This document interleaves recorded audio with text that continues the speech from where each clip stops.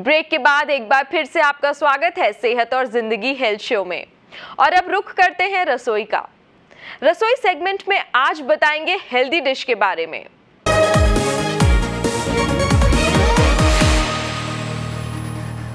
Hello foodies मैं Antima Chauhan welcome to the show जब हम फ्री बैठे होते हैं तो हमें लगता है हम कुछ खा लें लाइट सा। तब हम लाइट के नाम पे या तो मैगी खाते हैं या तो जंक फ़ूड खाते हैं पास्ता बर्गर या फिर कुछ भी। एक पैकेट बिस्किट चाय के साथ कंप्लीट हम खा लेते हैं। लेकिन आज मैं आपको एक ऐसी रेसिपी शेयर करने जा रही हूँ, जो हेल्दी भी है टेस्टी भी है। सैलड है ऑफकोर्स सैलड सुन के सबको लगता है बोरिंग सा ककड़ी टमाटर होगा बट ऐसा नहीं है। आज मैं आपसे जो रेसिपी शेयर कर रही हूँ, वो है रसियन सैलड जो बहुत इंटरेस्टिंग है, बहुत यम्मी भी है, और उसमें सारी वेजिटेबल्स और फ्रूट्स आ जाएँगे। सो so, सबसे पहले मैं आपको बताती हूँ कि उसके लिए क्या क्या चाहिए होता है। लेट्स सी इंग्रेडिएंट्स ये रेड कैप्सिकम है ये येलो अगर नहीं मिलती है तो आप ग्रीन भी ले सकते हैं। अगर आप नहीं खाना चाहते तो अवॉइड भी कर सकते हैं। बट मैं चाहती हूँ कि ऐड करें तो सैलड में खाते हैं वरना हम खाते नहीं हैं बच्चों के लिए खासकर। ये अनार है जिसे हम अभी अनारदाना निकालेंगे। ये कैरेट है ये बीन्स हैं एप्पल है ये मटर हैं जो मैंने बॉईल कर लिए हैं। ये पाइन टिन पाइन है। सैलेड में ये डाल रही हूँ मैं, ताकि इसमें थोड़ा शुगर ऐड करने की भी नीड नहीं होगी और काफ़ी टाइम हम फ्रेश लाते हैं तो उसमें थोड़ा सा खटास होती है। इसलिए मैं प्रेफर करूँगी कि सैलेड में आप टिन पाइन ही डालें। ये क्रीम है फ्रेश ये मेयोनीज़ है एगलेस है। अगर आप मेयोनीज़ नहीं खाना चाहते तो कोई बात नहीं, जो लोग मेयोनीज़ सोचते हैं कि नहीं, हमें नहीं खानी, वो हंकर्ड ले सकते हैं, दही को कपड़े में बाँध के ओवरनाइट या दो तीन घंटे लटका दें तो वो ऐड कर सकते हैं मेयोनीज़ की जगह। ये थोड़ा पीनट है फॉर क्रंच मैं लास्ट में ऐड करूँगी। ये एक बॉइल्ड पटेटो है जिसे भी हम चॉप्ड कर लेंगे। ये लेटस मैंने चॉप कर रखी है ये भी हम लास्ट में ऐड करेंगे। गार्निशिंग के लिए चेरी है और मैंने मिंट लीव्स ली हैं। शुगर है वन टीस्पून और ये वाइट पेपर है। सो so, सबसे पहले हम चॉपिंग कर लेते हैं उसके बाद हम अपनी रेसिपी स्टार्ट करेंगे। सबसे पहले मैं कैप्सिकम ले रही हूँ। इसके अलावा भी आप सीजनल जो सब्ज़ियाँ आपको पसंद हैं, वो आप ले सकते हैं। जो नहीं पसंद है, वो रिप्लेस कर सकते हैं। बट मैं चाहती हूँ कि जो खाने में है, क्योंकि बच्चे अक्सर हमारे घरों में सब्ज़ियाँ नहीं खाते हैं, इस सैलड के थ्रू वो खा पाएँगे।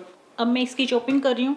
या आप कैसे भी चॉप कर सकते हैं, अपनी मर्ज़ी के अकॉर्डिंग लंबा डाइस में काटें, चाहे आप रफली चॉप कर सकते हैं।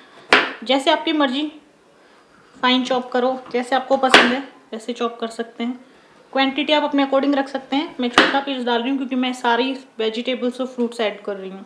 मैं इसे रफली चॉप कर रही हूँ। इसके बाद मैं एक पीस येलो का ले रही हूँ। ये मैं इसलिए भी ऐड कर रही हूँ काफ़ी कलरफुल होता है, जो बच्चों को काफ़ी अट्रैक्ट करता है कि वो खा पाते हैं, वरना वो कैप्सिकम से बड़ा दूर भागते हैं। सब जानते हैं कि वेजिटेबल्स हेल्थी होती है। मैंने कहा ना फ्री टाइम जंक फ़ूड से अच्छी है कि हम ये सैलड बना के खाएँ। वैसे आप कभी भी खा सकते हैं। ज़रूरी नहीं है कि आप फ्री टाइम में ही खाएँ। ये मैंने रेड एंड येलो कैप्सिकम और बेल पेपर अब मैं एप्पल को डाइस कर रही हूँ। ये भी मैं रफली चॉप कर रही हूँ।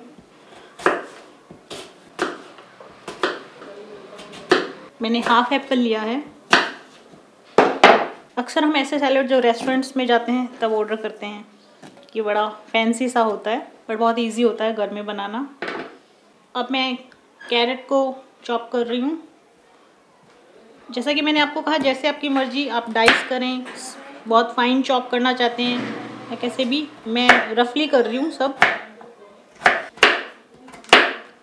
बीन्स और कैरेट को हम दो मिनट के लिए माइक्रोवेव करेंगे। माइक्रोवेव से छोटे से बाउल में लेके एक स्पून पानी ऐड करके दो मिनट के लिए, ताकि ये हार्ड ना हो। अब मैं बीन्स को चॉप कर रही हूँ। अगर आपको पसंद नहीं है तो आप अवॉइड कर सकते हैं। जैसा कि मैंने आपको कहा, इसको दो मिनट के लिए मैं ये बीन्स हैं और ये कैरेट इनको एक एक स्पून मैंने पानी ऐड किया है और दो मिनट के लिए माइक्रो मोड पे ही माइक्रोवेव करने जा रही हूँ। चलिए इसको रखते हैं माइक्रो के लिए। जैसा कि मैंने कहा, इसको दो मिनट हाई पे मैं माइक्रोवेव करने के लिए रख दिया है, जब तक हम और प्रिपरेशन करते हैं। अब मैं सबसे पहले एक बाउल ले रही हूँ बड़ा मिक्सिंग बाउल जिसमें कि मैं एक कप है ये ये फ्रेश क्रीम ऐड कर रही हूँ। उसके बाद ये वन फोर्थ कप मैं मेयोनीज डाल रही हूँ। आप हाफ़ भी डाल सकते हैं बट मेरे हिसाब से इनफ है तो मैं वन फोर्थ ही ऐड कर रही हूँ। और जो कर्ड ऐड करते हैं, वो कर्ड ऐड कर लो मेयोनी की जगह। मेयोनीज को आप रिप्लेस कर सकते हो। बट आजकल मार्केट में इजीली एगलेस अवेलेबल है। वन टेबल स्पून है ये सॉरी टी स्पून है। ये मैं सॉल्ट ऐड कर रही हूँ अभी। शुगर आप ऐड कर सकते हैं, अगर आप फ्रेश फ्रूट ले रहे हैं। मैं टिन पाइन ले रही हूँ तो उसमें स्वीटनेस होता है ऑलरेडी इसलिए मैं नहीं ऐड कर रही हूँ। ये मैं half tablespoon white pepper add कर रही हूँ। अब इन सबको हम अच्छे से विस्क करेंगे ताकि स्मूथ टेक्सचर आ जाए। अब मैं इसमें सबसे पहले पीज़ ऐड कर रही हूँ, जो मैंने बॉईल कर रखे हैं हल्के से। दो मिनट के लिए जैसे माइक्रोवेव करना है इन्हें भी। ये छोटे छोटे कटे हुए टिन पाइन ये जो हमने चॉप किया था कैप्सिकम रेड येलो और एप्पल अब हम इसे अच्छे से मिक्स करेंगे। हमारी सब्ज़ियाँ जो हमने रखी थी माइक्रोवेव में, दो मिनट के लिए वो हो गई हैं, मैं वो भी लेके आती हूँ। इन्हें हम दो मिनट बाद डालेंगे क्योंकि ये गर्म है, इसका टेस्ट ख़राब हो जाएगा। जब तक मैं अनार के दाने डाल रही हूँ, ये अब मैंने कहा ना फ्रूट की क्वांटिटी और किसी फ्रूट को आप रिप्लेस कर सकते हैं अपने टेस्ट के अकॉर्डिंग मैं इसमें डाल रही हूँ। अब मैं ये grated sorry chopped finely diced juliennes किए हैं मैंने। ये लेटेस्ट आइसबर्ग है। ये ना हो तो आप अपना नॉर्मल पत्ता गोभी भी डाल सकते हैं बट आजकल सुपर मार्केट्स में ये ईजिली अवेलेबल होता है। पीनट्स हम बाद में ऐड करेंगे। अभी हम आलू को थोड़ा सा चॉप कर लेते हैं। ये बॉयल्ड आलू है। ये मैं हाफ़ ले रही हूँ। आप नहीं डालना चाहते तो मत डालो। लेकिन मैंने कहा ना सैलेड में जितनी सब्ज़ी और फ्रूट्स हो, उतना अच्छा है। पर आप बिल्कुल ही पसंद नहीं करते तो आप अवॉइड कर सकते हैं। तो एक बार हम इसे अच्छे से स्टर देंगे मिक्स करेंगे।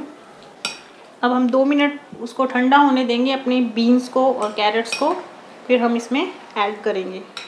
चलिए तो अब हमारा कैरेट और बीन्स भी ठंडा हो गया है, ये मैं इसमें ऐड कर रही हूँ कि काफ़ी कलरफुल हो गया है।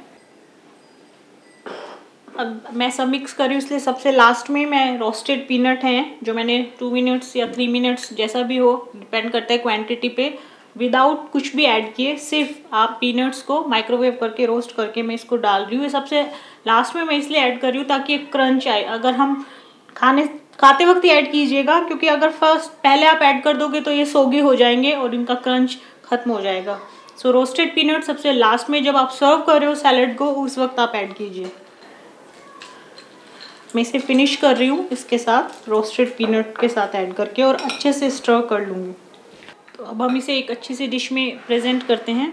जैसा कि मैंने आपको पहले भी कहा है आप इसे चिल्ड भी सर्व कर सकते हैं या एज इट इज़ जैसे आप खाना पसंद करते हैं ये आप पर डिपेंड करता है। मैं इसे गार्निश कर रही हूँ चेरी रेड चेरी और मिंट लीव्स के साथ। सो so, ये हमारा रशियन सैलड तैयार हो गया है। ये बड़ों को बच्चों को सभी एज ग्रुप्स को बहुत पसंद आएगा और आप ज़रूर ट्राई कीजिएगा। एक हेल्दी ऑप्शन है इसमें फ्रूट्स वेजिटेबल सब है। थैंक यू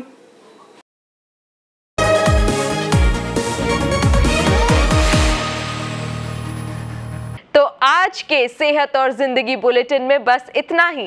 कल फिर हाजिर होंगे। सेहत की नई नई बातों के साथ। तब तक के लिए नमस्कार।